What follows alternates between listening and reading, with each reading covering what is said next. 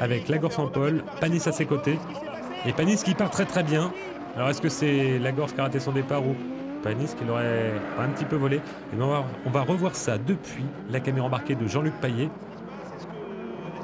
Au sa BMW euh, série 1. On va revoir le départ en compagnie de Jean-Luc Paillet pour avoir la confirmation que peut-être, peut-être, allez même certainement, Olivier Panis a un petit peu volé le départ.